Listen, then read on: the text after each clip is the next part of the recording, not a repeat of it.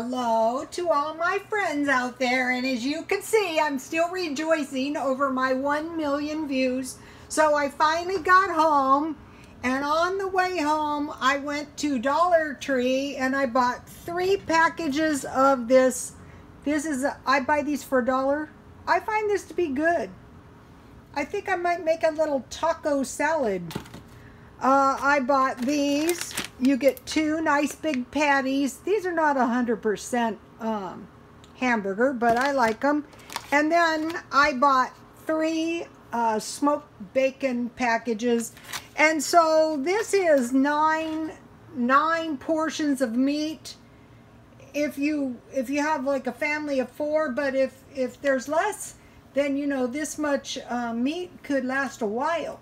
Okay, I'll be back, you guys. God bless you all.